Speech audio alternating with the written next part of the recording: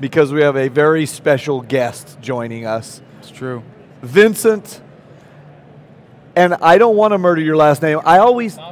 I always say Ferret. La Ferret, but some people say no, it's La Ferret, and I'm like, no, Or it's, I think it's La Ferret. You've heard them all. Yeah. well, you know, my last name is Pozadzides, so nobody. that's why everybody just calls me John P. Yeah, So, so, you at know, least you don't have to deal a with that. telemarketer call, hello, Mr. Yeah, that, Click, I, click. I know it's, it's easy to know. Yeah, so So how's the show going for you so far? It's going. It's going really well. Uh, I haven't been partying too much this time. I went out uh, last night and shot with a new prototype camera. Had a lot of fun in New York, Nice. and uh, I've just been taking it easy. It's last did you, day. Did you speak?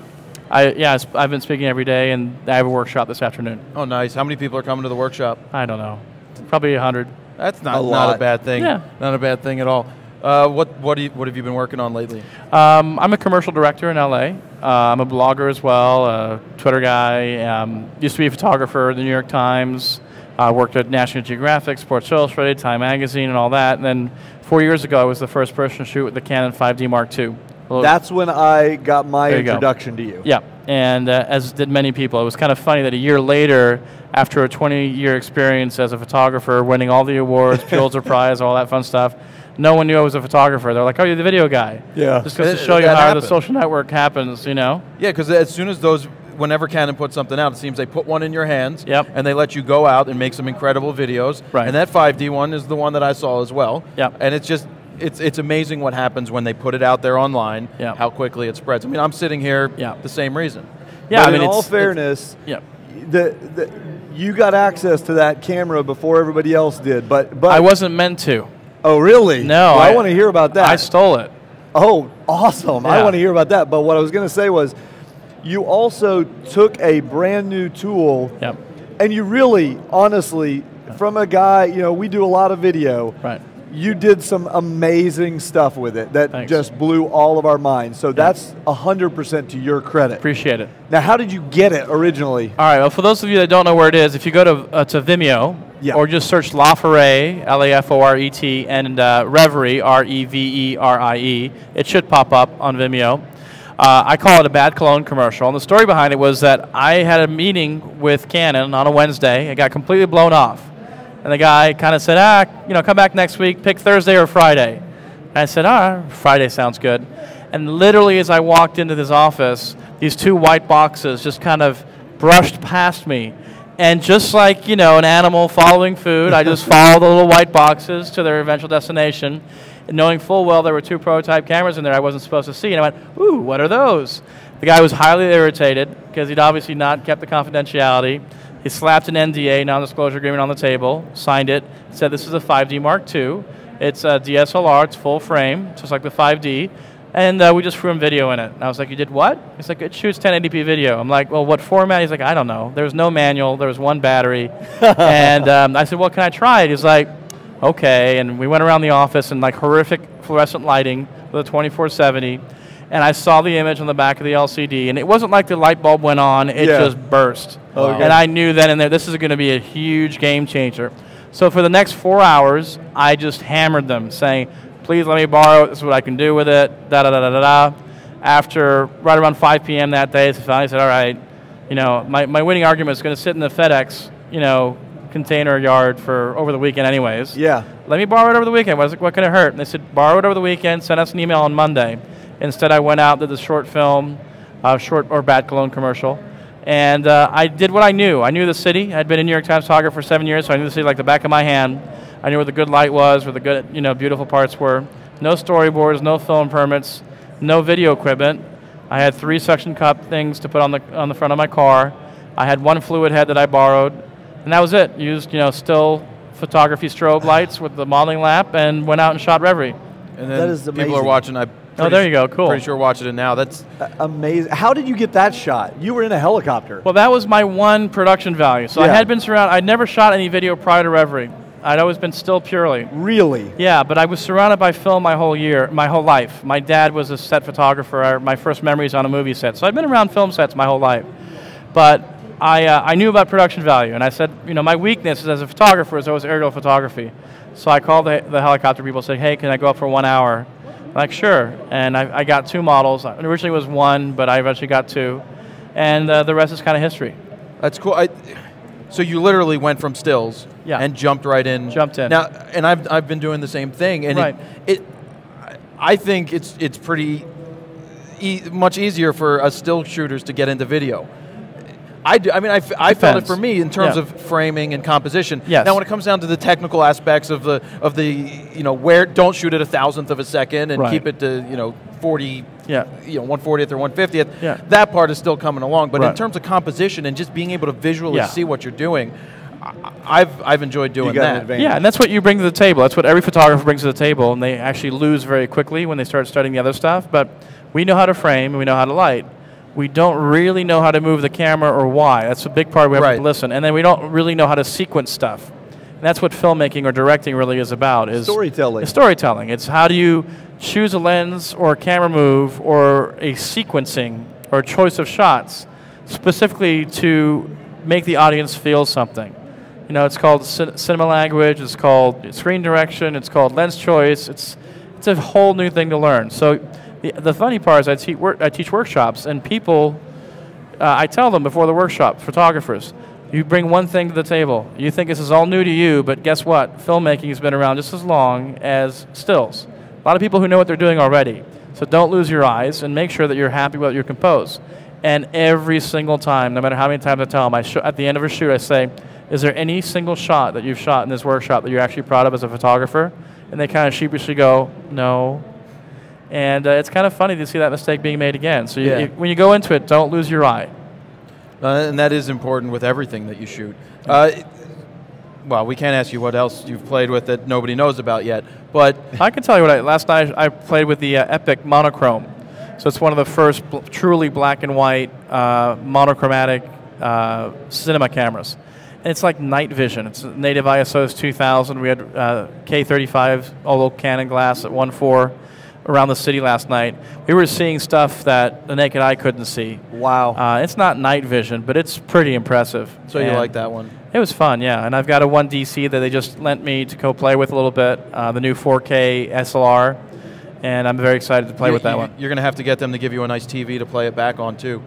Yeah, I won't hold my breath Yeah, on that 4K one. TV, like the 80 some inch one that's over there in that other booth. Oh, is They're there one pretty here? In in a Sony booth, Right. there's a huge, huge 4K TV. Is it $30,000? They didn't put a price tag on it. That's why they didn't put a price on it. yeah, a lot of them are so prototypey they can't even. They're Right. not selling them yet. Yeah. No. Yeah. So um, you you you talked about having a, a photography background and then being thrust into Right. the video world Yeah. just through this weird, you know, luck sequence Mm-hmm. of events. And uh, since then, I think. From what I've seen, you've been really engaged with a lot of video work Yep. it's like overnight there was this huge shift Yep. in your personal brand and business model, et cetera. Uh, my theory is that all of us who are engaged in photography are also, by definition, we must be engaged in videography now. Every tool we have involves video. Yep. Um, you see wedding photographers now being asked to do video. You see uh, every kind of photographer being asked to do video. Right. Uh, what kind of tips do you have for people who are being essentially thrust and forced into this change? Right. Well, what I tell everyone is you should try it. It's it's it's of, pinnacle importance that you experiment with video and see if you like it or not. And then when you do that, realize it's not for everybody. It's a very different type of personality that grabs a still camera, goes out and finds beautiful images as a reactive person, likes to work by themselves. Filmmaking is about working with other people. It's about collaboration. It's about preparation, not being reactive, being proactive. It's a different beast. So it's not for everybody. Um, but I, I agree with you, especially when you look at these 4K cameras. You know, the 5K is a bit of an extreme with the red, Epic, but you're shooting 120 frames per second of 14.4 megapixel full raw stills. So when I do my demos, I show people this. I show photographers, and I show a picture of someone's face, and I crop it all the way into the pupil, and they their jaws always drop. And I say it's not about when the convergence of still and video is happening. It's already happened. It happened three years ago, Yeah. And the cost is still relatively high. It's a seventy thousand dollar package, but you have to understand that it's already happened. four years ago, or in 2007, the iPhone came out. Look what's happened since. So yeah, it's eighty thousand dollars now to shoot with an Epic, but in two or three years, it might be eight hundred dollars to shoot Yeah. 5K. You know, Well, on- on even even the GoPro. Even the, GoPro's at 4K. has I was at the announcement last That's week. I was one of the f- five filmmakers there, and It's only like I knew they were going to come out with 4K. I told I told Nick. I said well, as soon as I heard, it, I said it's 4K. It's, it's insane. And it's, It's not true like 4K. frames a It's second between something. 12 and 15. Well, okay, yeah, but, still, it's a $300 camera. yeah, the T3. If you think $400. it, what was it? The was it the T the Canon T2i or the T3i when they originally came out with 1080? It would Yeah. only do like 20 frames a second. Right. But by the next very next iteration, it was doing I don't know maybe it was even doing 60. You know, I It- mean it- it, it went like a. We have two questions for you Sure. from the folks in the chat Okay. in the chat room. Eagle five six seven five five. Oh, Roger that. Do you think videography is something? Well, let me. I'm going to ask his question in reverse. Yeah. Uh, he says photography seems to be like it's almost becoming a little cluttered. There's just so much photo, uh, you know, photography, so many photos available in so many places. Do you think video is still new enough that there's, I guess, more room in the market for it? No, I mean the reality is that photography's become commoditized with our iPhones and smartphones. We shoot more photos per year now than our entire history combined. Uh, every year, so we shoot more photos every year than in the past hundred years have been published. Um, also, uh, they upload 72 hours of video to YouTube per hour, or per minute. Sorry, per minute. per minute. Okay? So the amount of content going up is insane. What that means is it's going to hopefully be a flight to quality. That's what I learned in the New York Times was it wasn't the sexiest paper. It was called The Gray Lady before she went into color. But it was the best edited content out there and often the best written. And that's why the New York Times was what it was uh, and still is. Now, the same hopefully will happen with video and still content. Uh, the problem is there's a much greater barrier to entry in video. It's, you got to have a crew. Even three people is complicated for people to get three people's schedules that aren't paid to show up on time. Yeah. And actors, that's always a problem. And uh, you got to edit it. It's, it's a process. Whereas a still, you take your iPhone out, you take a picture, you send it into uh, Instagram or Camera Plus, and you post it on Twitter, and you're done. And next thing you know, you can have 100,000 views because it's an amazing image. And that's something that has, in effect, um, you know, cheapened the value of photography relative to where it was five years ago, unfortunately. I hope there's going to be a backlash. I'm not holding my breath. It still Um, comes down to quality, though. It does. Most it of the time, because there are those times where something takes off that you were just like, wow. The, the problem is some people recognize quality, some don't. It's There's a- been cheapened. Yes, and, and you know, I've, I, I've never heard this myself, but I've heard plenty of colleagues say to professional photographers, you know, some of the best photojournalists and commercial photographers in the world who had a 5D Mark II, and the CEO will walk up to them and say, oh, my daughter has that camera. And when you hear that, your heart just sinks, you know, because you know that they're judging you in some way, Yeah. or they wouldn't make that comment. They're just excited that their daughter has the same camera. Right. But to you, you're just like, oh, you know. Well, you know, I think that we, we actually see this. I think photography is a craft, it's a trade. Yes. And uh, we have master photographers Yeah. and we have apprentice photographers It and we used have to be much more, not to cut you off, much more of a craft when you didn't have that LCD and the instant gratification. You're right. Where the photographer or the DP on set was the only person who knew the magic of how those lights would look at, like on screen. You're right. And then when everyone got to see those LCDs on on set, everyone had an opinion. Yeah. And just because you have an opinion doesn't mean you need to, it's worth anything. And it becomes a more of a democratic, washed out process. And I think you've seen, um, I think you've seen this happen in many, many industries. I actually have an interesting h- hobby. I'm a bladesmith, believe it or not. I'm a That's pretty trained. cool. I trained under four different master bladesmiths. Nice. And I can make knives and hand forge them. And nowadays, people don't have a, the general public would not have an appreciation for a hand forged knife because I can go to the store and I can buy stamped ones that work. They cut anything you need them to cut. And so um, we, we probably see that across all manner of trades. You have, you have an instance fan here because I'm I'm a sucker for nostalgia and old, you know, process craftsmanship. I love going to Italy or France Yeah. or Japan and just seeing crafts masters, you know, do You- their thing. I could show you some things that you Yeah. would probably Whoa, love. whoa. Hey, Again? yeah, with you know flames and fire and Right. forges And that stuff's fun to shoot stills of. It really is. and, And- to capture with the video. It is. at it 400 frames a second, Are you shooting yeah. the high speed stuff right now? all the time. Yeah. It's a, it's it's a it's an easy uh, panacea towards boring content. Just shooting in slow motion, it looks beautiful. Yeah, and until everybody else catches up and they put Yeah. it in a, in the iPhone. To Exactly. shoot 8,000 frames a second. No, we see it at the uh, the World Series in baseball. They're Yeah. doing what 2,000 frames a second. Yeah, I've heard up to 5,000 actually. It's Wow. incredible to watch. Well, it's incredible to watch just about anything Yeah. in, in slow motion, but especially baseball when they're when they're coming through the zone and see rolling the, wrist over. ball, just like And it, you see the bat bend. Yep. So I, I have a question in terms of editing. Do Yeah. you have a hand, a heavy hand when it comes to editing? Are you involved? I'm very involved in pre-planning, in storyboarding, shot listing, executing as a director on set, and I'm a huge believer in handing that off to an editor because that was my best attempt. I need someone that I call. I call myself the. Can I say bullshit? Do it. I, I'm the bullshit meter on set as a director. I'm the one person looking at the monitor saying I don't buy it. I need another bullshit meter when it comes to the edit. Someone saying I know you were trying to do X, Y, and Z. It's not working. It's not working.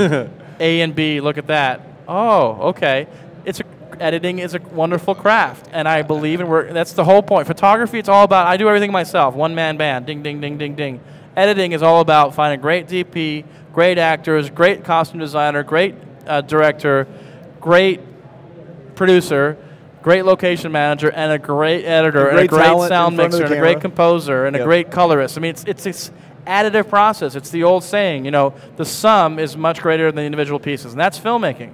So if you edit your own stuff, ah, I don't like I, it. and I agree. Turning that stuff over. Whenever I handed a bunch of footage, I went to South by South by Southwest a couple years back, and Yeah. Nikon let me use some D7000s when Yeah. they came out. Yeah. We came back with I don't know 30 hours of footage. I handed it to a guy that I didn't really know, Right. who is really good at what he does, Yeah. and he turned it into a four-minute music video. And I sat there and I was like. Did I shoot that? Yeah, yeah. Yeah. I'm like, how did you do this? Because he went through all the footage and did it, and that's not something that I want to do. No, I want to shoot it. it. compose it, Done. and then say, here, make this cool. There's creative process there. Right. We do. We just do a little tech show every day, and and we write a little script Yeah. and uh, stand in front of the prompter, read it off, and hand it to a professional editor, Dave Curley. He's amazing. Right. And what comes out the other end, I. I hate seeing myself on camera, Yeah. but I'll watch my own shows because I don't even know what it's going to look like. It's Right. amazing, you know. Right. And that and that's and, and the last little note is if even if you don't edit, you should still sit in on the edit. And Yeah. and maybe shut up and just watch. Yep. Maybe give advice as you get better. But the editors will tell you you screwed up royally here as a director. Oh, yeah. Because you didn't give me an in and out. You didn't give me uh, a nice way to cut into this. There's no no one walking in the frame. There's no obvious cut point. Or you should have pre-rolled a little longer or post-rolled. Or you really needed to give me this other angle to cut to because when this actor flubbed that those lines, I've got no got way to cover it. And you learn so much. are you working on a full length right now? Two of them, yeah. Wow. May- Anything you? Um, one I can loosely describe as uh, I can't talk about. it. It's too risky. When, when But is it coming out? It's a long. I've. It's already been greenlit by a studio, but the same studio head that said go do. Uh, I'll make your film for you. Said go do it on your own, because as a first-time director, you're going to get killed, you know, and paid nothing and have no creative control. He says it's a great story. I love it. I want to see you make it on your own. Go find your own financing. That's Oh. that's why it's taking longer. Yeah, that is challenging. Yeah. Um, and that probably is, it's probably going to, I think this answer is going to be self explanatory, but eMoney79 wanted Uh-huh. to know what does Vincent find easier, still photos or video? Well, I don't want to install still photos because that's, where I'm from. But when I go back to still photography, it's a walk in the ballpark. It's purely based on complexity, the number of people and logistics. That being said, uh, there's nothing as enjoyable as being out there by yourself with a tripod or handheld and no one to talk to you. Whereas when you're on set on film, you've got constant reminders of how much money every single second is costing you and how many setups you have for the day. So, easier is not the right word. Less complex and less logistically uh, complex is a better way of describing it. So, when it comes to shooting stills and video, do you ever go out to try to do both? Or do you find it where you have to make that decision? If you're going to shoot video, you have to stick to it and not even think about shooting stills because you're going to miss whatever's in front of you. If it's a commercial job, you have to do both often, and you can do it well as long as you give yourself enough time. Um, I, th- I don't think you can afford to have a closed mind like that and say, I only do this or I only do that. I think you have to try and, and find ways to do a little bit of both because the reality is sometimes you've got that video shot and you're, you don't have anything to shoot till the light changes Sure. or something else happens or setting up a camera. There's no reason not to pull out your still camera. Right. It, it, it was more in, in terms of I've had you know readers. They sit there and they go, "Well, I'm going to shoot a concert," and they're like, "Oh, I should have done video," and then they do video, and they're like, "Oh, but I should have done stills at the same time," and it's just No, you can't. you're I don't gonna- think you can do that well. yeah, if you're going to shoot a show, shoot one song this way, Yeah. then That's next song do dis- that's the this. discipline you need is to Yeah. know that you can do a little bit of this, then switch gears. But and you already pre-thought about it. Right. Switch gears and back and forth. Trying to do two, you know, master of none. Yeah, because you, you end up missing. I I learned that really early on. You like Yeah. switching from video to stills, and you miss everything. Every time a great video moment happens, you're shooting stills, and you switch to video, and it's all beautiful stills, and you're just like, ah. yeah. So yeah. Very hey cool. Vincent, I, we we're not out of time yet or anything, Okay. um, and certainly I would honestly love to have you here all day. You're way too busy for that, but I want to make sure before we do leave Yep. that people who want to follow you, Yep. who would like to get you know just learn more about you, but not Sure. only that, but perhaps be able to get tips from you and learn Yeah. from you directly. How how can they engage with you in the social media and, and, and all Yeah. that? So I've put a tremendous amount of time and energy into my blog. It's uh, blog.vincent, V-I-N-C-E-N-T, Laforet, which is L-A-F as in Frank, O-R-E-T dot com. And it has an entire educational resource section with uh, uh, hundreds of videos and examples and articles. It has an entire gear section. It's probably one of the most comprehensive anywhere on the web of every single video piece of gear that I use from beginner to advanced. So That's awesome. you want to know about tripods, you want to know about Anton Bauer batteries, light panels, you want to know about software, you want introduction to uh, Final Cut Pro or into Premiere, you want to learn how to do After Effects 3D tracking, you want to know what tripod head to buy, whether you have a $300 budget or a $5,000 budget, you want to know about motion control, you want to know about Kessler cranes, it's all up there just sitting there. And uh, it's I've got four million visitors a year that come. So Wow. come join the party. There you and go. then on Twitter, it's just at Vincent Laforet. And are you on Facebook or Google Plus? No more Facebook and Google Plus. I gave up on. You why'd you I give agree. up on it? He's not a fan either. Why'd you give up on Google Plus? I, I gotta ask. It just started off too slow, and I, it's, it's just complicated. here, was in put my it here, circle, put it and. I felt like I was mixing a recipe for disaster. And the truth is, between my family, my job, the blog, and You're tweeting, busy. that's it. Okay. I could barely do Facebook. I like I look on Facebook once once a, s- a year, pretty much, see what my friends are doing. That's about it. Okay, Very fair cool. enough. Thank you for coming on. That You're was more great. than welcome. Thanks for having me. Thank you so much. Great time. Thanks, guys. All right. Thank you. Cheers. Vincent Laforet, folks. I mean, We'll get what you can I say? So um,